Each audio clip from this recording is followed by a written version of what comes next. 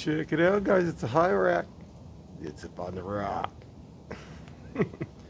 if you like what you see, hit that like and subscribe button. Have a good one, guys.